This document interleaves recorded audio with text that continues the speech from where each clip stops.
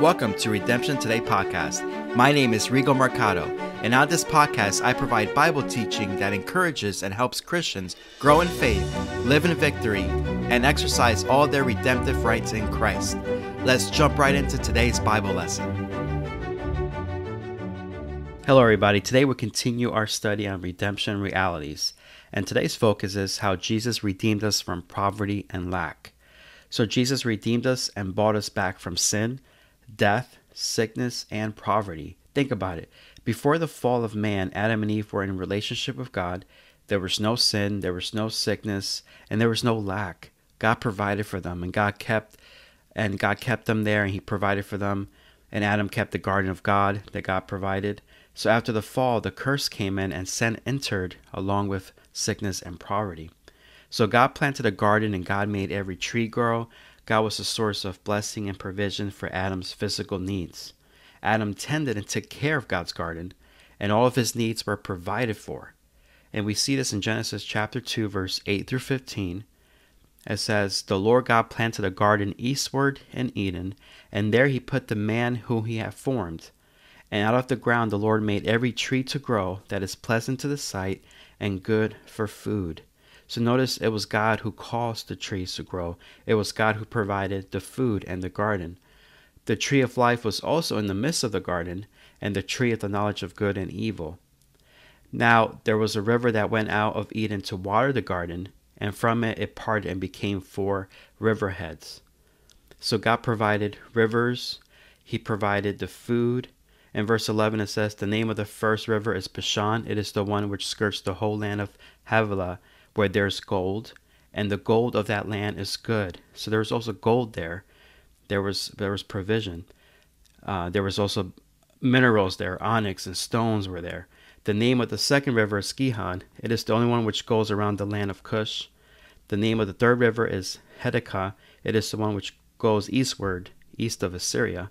The fourth river is the Euphrates. Then the Lord God took the man and put him in the garden to tend and to keep it. So Adam did work, Adam tended to the garden, and he kept the garden. However, who provided it? It was God. God is the source of our provision. However, after the fall, the ground was cursed, and Adam had to work with the sweat of his brow. In verse 7 of Genesis 3, it says, And to Adam God said, Because you have heeded the voice of your wife, and have eaten from the tree which I commanded you, saying, You should not eat of it, cursed is the ground for your sake and toil you shall eat of it all the days of your life. Both thorns and thistles it shall bring forth for you, and you shall eat the herb of the field. In the sweat of your face you shall eat bread, till you return to the ground. For out of it you were taken, for dust you are, and to dust you shall return. So once Adam and Eve sinned, the ground was cursed. They had a toil in their work for the Lord. They had a toil to provide. There was obstacles and hindrances and trying to get provision for themselves. There was thorns and thistles where before there wasn't any of that. So that blessing was, was taken away. Now, what is this curse? The curse basically is the effects of sin. With it came spiritual death, separation from God. With it came poverty and sickness and disease. And the enemy is the author of all these things. Sin is what brought it upon us. However, Jesus came to redeem us from that, to take us away from those things, and he redeemed us from, the curse of the law. Later on, God instructed the children of Israel, as you read through the scriptures, you know, his covenant people, that if they obeyed his commandments, his blessing will be upon them.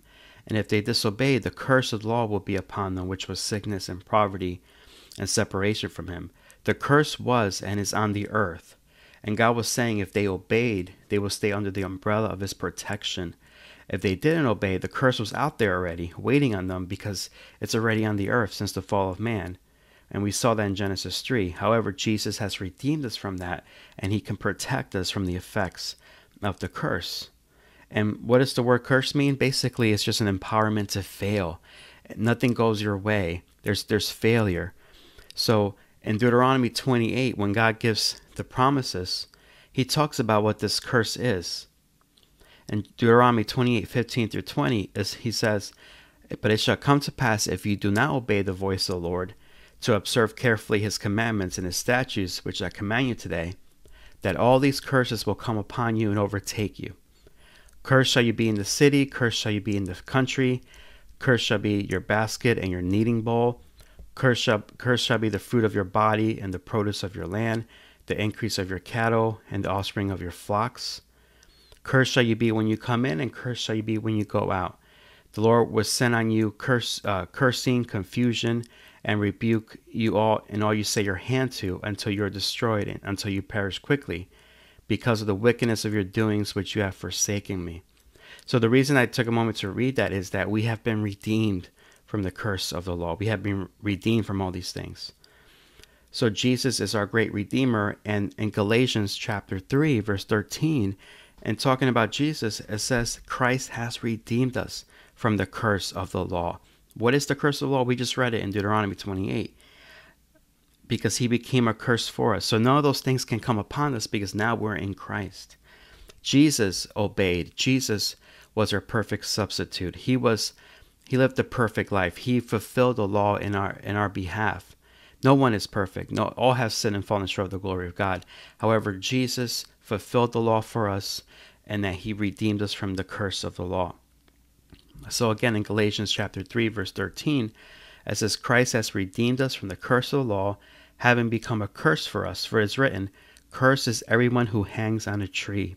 When Jesus hung on that cross he took the curse upon himself. Why? And what was the effect of it? What was our benefit? Verse 14 of Galatians 3 says that the blessing of Abraham might come upon the Gentiles in Christ Jesus that we might receive the promise of the Spirit through faith.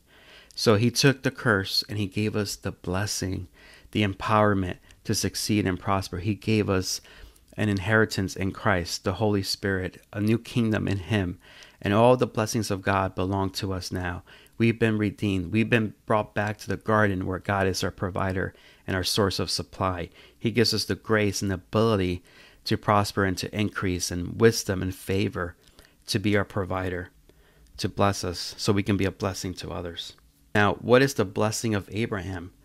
You know, when you study the life of Abraham in Genesis 12, God chose him and said that to him that he was going to make him a mighty nation, and through his seed all nations of the world will be blessed. And Abraham couldn't have children, so it was a promise, and Abraham believed God, and it was accounted to, to him for righteousness. And God said to him that, you know, I will bless you you know, to be a blessing to others.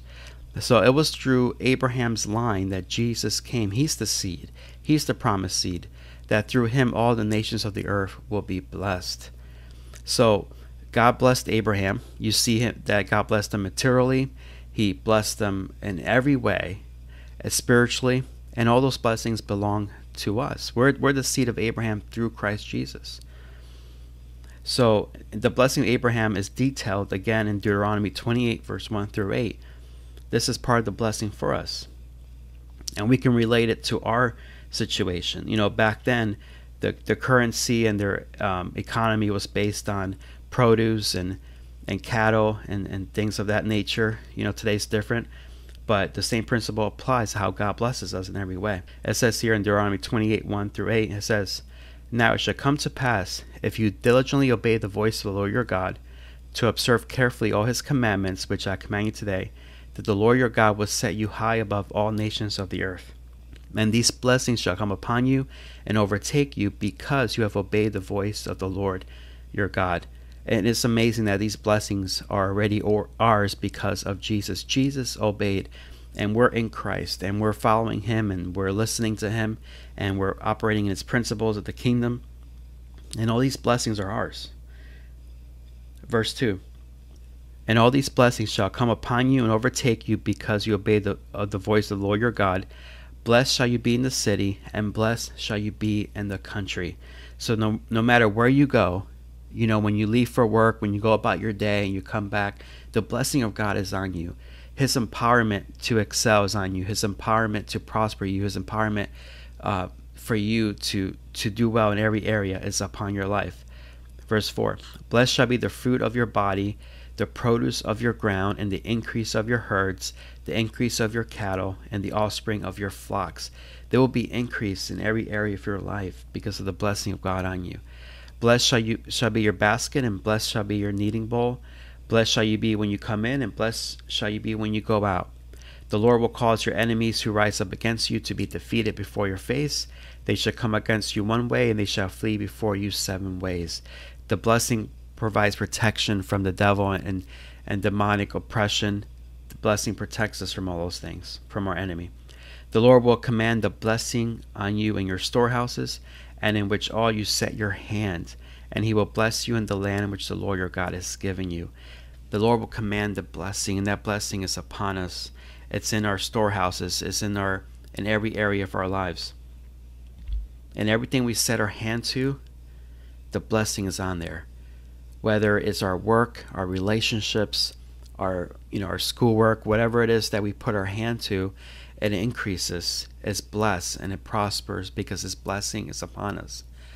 So the blessing includes redemption, right? It includes being redeemed from eternal separation from Him.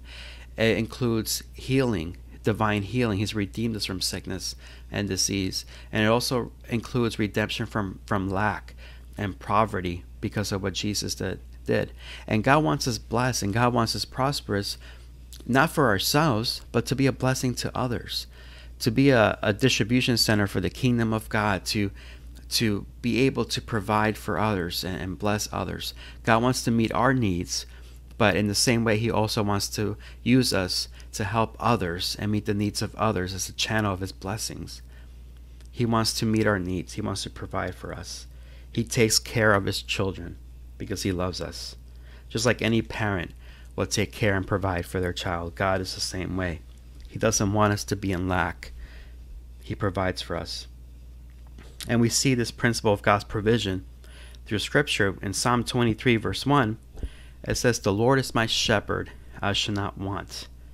In other words, because God is our shepherd, He, take, he takes care of us, and we have everything we need. We lack nothing because we shall not be in need.